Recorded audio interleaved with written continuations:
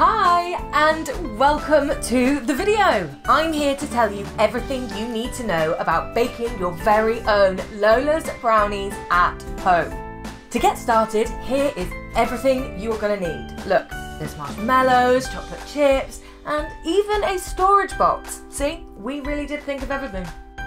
Step 1.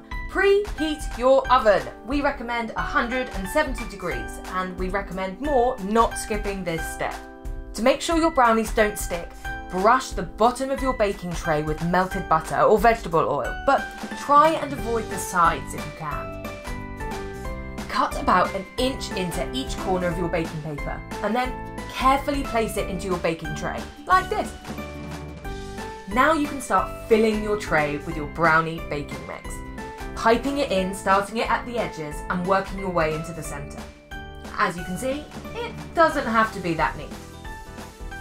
Now smooth the top over until you get a flat, even surface, or as close to that as you can. Next, pop it in the oven for 35 minutes, but give it a little shake test after 30 to see if it's baked.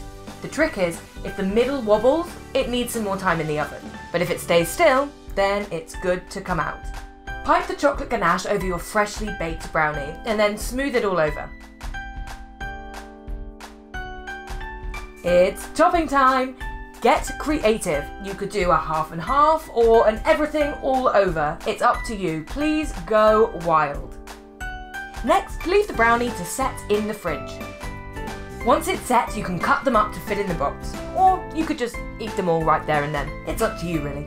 And that's it! If you want to show off your creations, then feel free to tag us on social media.